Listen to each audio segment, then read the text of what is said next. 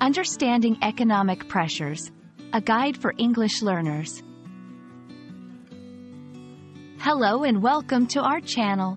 Today, we're going to explore a term that's essential for understanding many aspects of our daily lives and the world around us. Economic pressures. Understanding this concept is not just about expanding your vocabulary, but also about gaining insights into how economies operate and affect individuals and societies. Let's dive in. Economic pressures refer to the various challenges and forces that affect the economy of a country, a business, or an individual's financial situation. These can include factors like inflation, unemployment, high interest rates, and changes in consumer demand. Essentially, they are the stressors that push on the economic stability and growth of entities, leading to potential financial difficulties or necessitating adjustments in strategy. There are several types of economic pressures that can impact differently. Inflation pressure, when prices of goods and services rise, decreasing the purchasing power of money. Employment pressure, high unemployment rates can lead to less consumer spending and lower economic growth. Interest rate pressure. High interest rates can make borrowing more expensive, affecting businesses and consumers alike. Global economic pressure.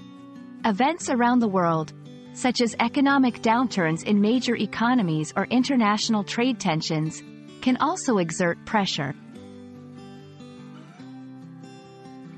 Economic pressures can have wide-ranging effects on businesses, may lead to reduced profits, layoffs, or bankruptcy.